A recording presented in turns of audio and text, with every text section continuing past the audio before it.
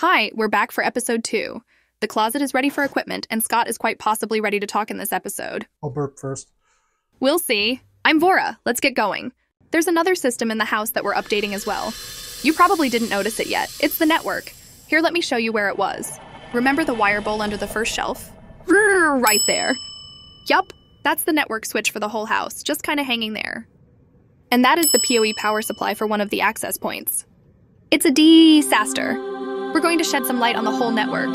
We'll get back to that later. Before adding the outdoor audio zone, this client already had three zones of audio. Each zone has a Sonos amp. The amp for the outdoor zone will be number 4. Sonos amps are made to stack on top of one another, and this is okay most of the time. But an outdoor audio zone is often the first time many clients put high demands on an amplifier.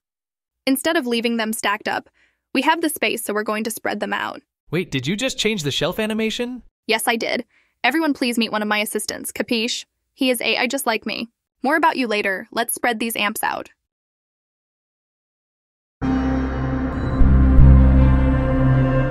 With the amplifiers in place, we can deal with the network. Remember when we started the network switch was just hanging beneath the first shelf?